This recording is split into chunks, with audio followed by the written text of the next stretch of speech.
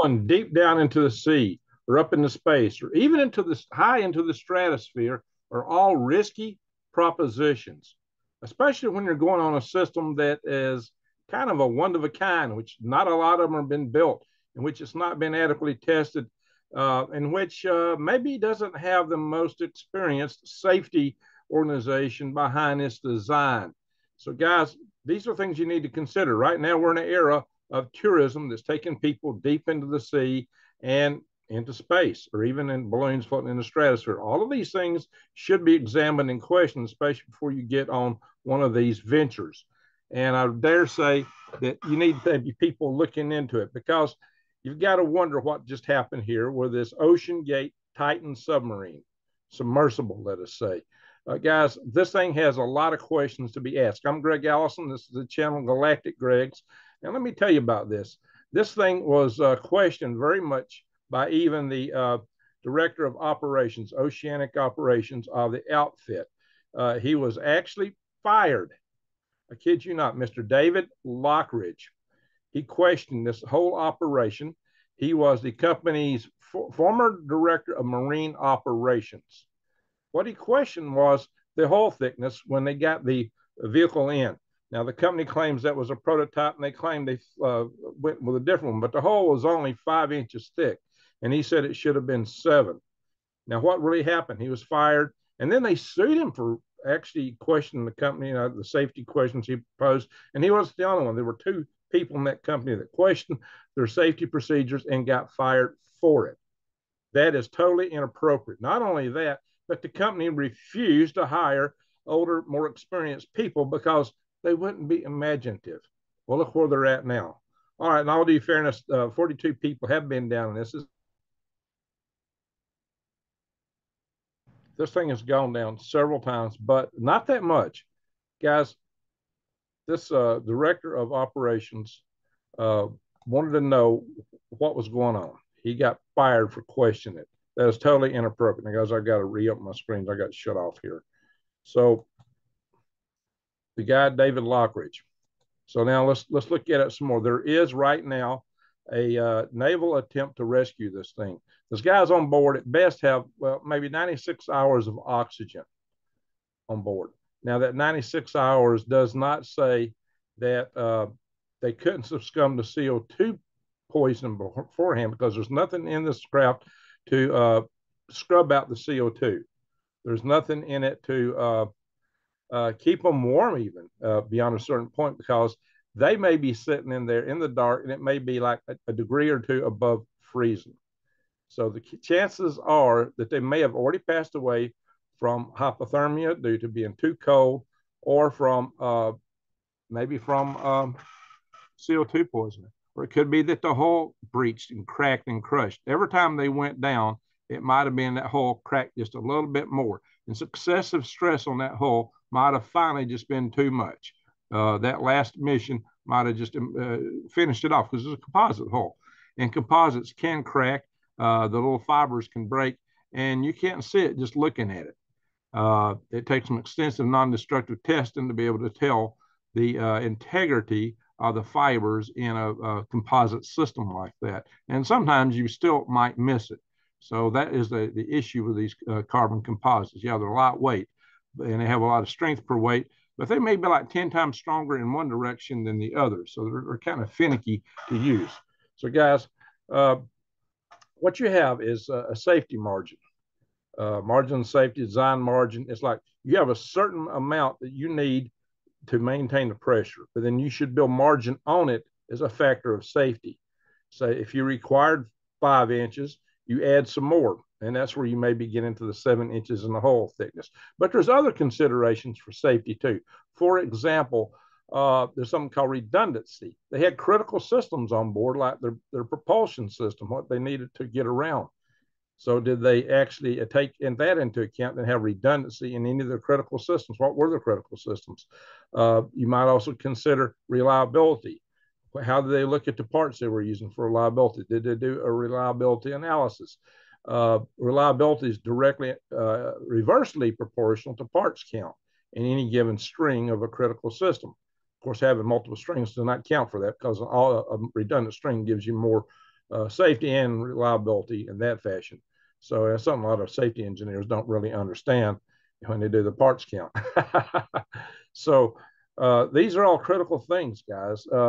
I heard they had problems with batteries before. Did they have redundant batteries? Do they have, uh, you know, maybe it cost too much? They didn't want to do it. Uh, yeah, there's just too many questions here. Too many questions. It, it just lose propulsion.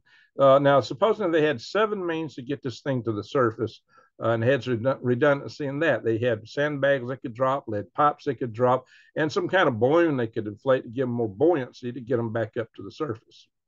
Now, did it actually get back to the surface? Maybe it did, but still, there's no evidence that they had any means to open up valves to get in outside air.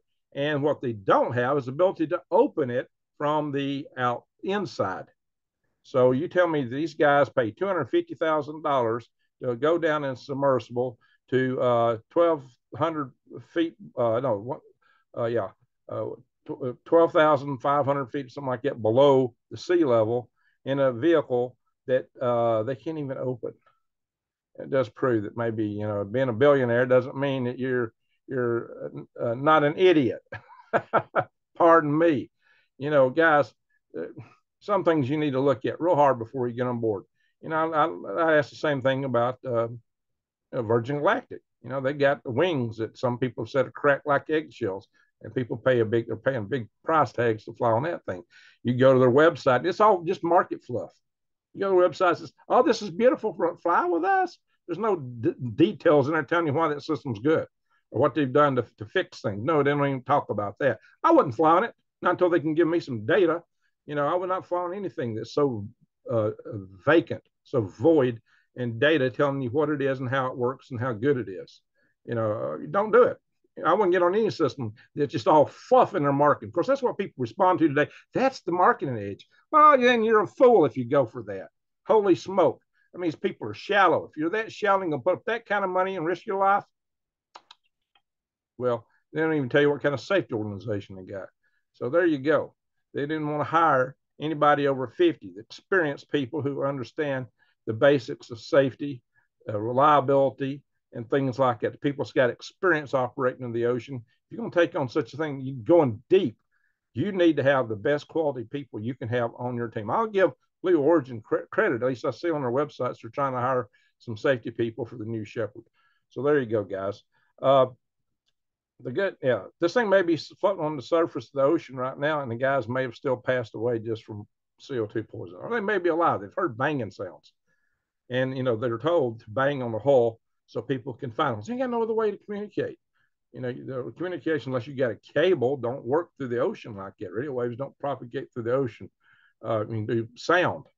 So banging on the hull is sound.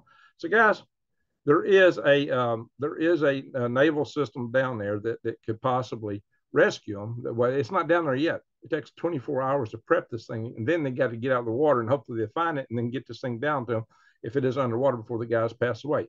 The naval system is called the Navy's Flyaway Deep Ocean Salvage System.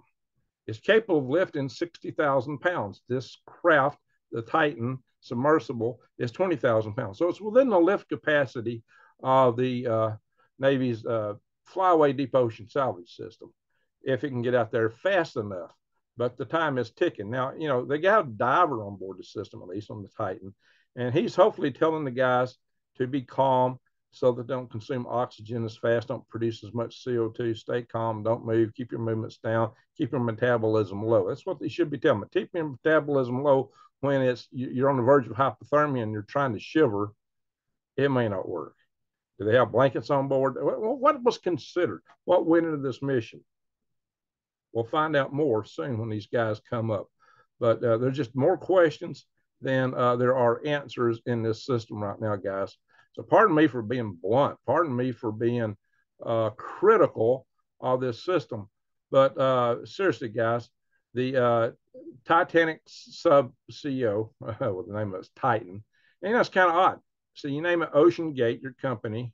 Ocean Gate sounds a whole lot like uh, Watergate or Heaven's Gate. And then you name it Titan as you go into the Titanic, which is famous for sinking. You're going to a graveyard and then you don't think about safety. You're going down to great depths And, you know, there's just a lot of things that weren't thought out.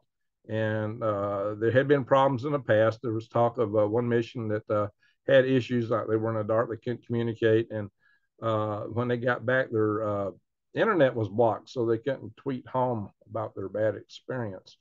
So, guys, there's just too many questions about this. Too many questions. Before, I think space tourism may be the thing that opens space up, you know, and, and helps to pave the way for launch systems and things that'll be good. And in the same way for going into the ocean, exploring the ocean, but you've got to pay attention to the safety. And if you're going to be on one of these, you need to be asking questions. You need to want to know what went into the design of this. What did they factor in? Ask them what's the safety margin. Ask them what are the critical systems. Ask them what's the redundancy. If you're going to get on something like this, or if you got a loved one, somebody you know heading out to something like this, ask those questions. Uh, you know, we're going to have people flying around in stratospheric balloons in the near future. We're going to have people going maybe under the sea again, unless this kind of kills the market. Uh, and then there's uh, space tourism that apparently is finally on the verge of, of taking off. These are all questions to ask in any system you're putting people on. All right, enough said. So with that, I'm going to say, be careful, be safe, and do, but do explore if you can. But do it as safe as you can. Oh yeah, by the way, I'm going to show you something. I know a little bit about this topic. I'm going to show you a picture of a rocket that I actually ran from my life from 25 years ago yesterday. Why? Because the safety engineers almost got me killed. I'm serious. Ignorant, inex- an ignorant, brain dead safety engineer asked the wrong questions and complicated design in the wrong direction and nearly got me killed. Running from that rocket, the Halo Skylaunch 2 rocket, which is hanging today from the ceiling of the Straight to Ale Brewery in Huntsville, Alabama. We just, had, we just had a little reunion dinner there last night of some of us that were involved in that mission. And that was a pretty harrowing mission for us in many ways. but, you know, that's why you need good safety people. That's why you need mature safety people. That's why uh, you don't want to just go with just, you know, some kid out of college, which apparently is what happened. Anyway, my friends, thank y'all for watching. I'm Greg Allison, Galactic Gregs. And with that, I'm going to say, Greg out.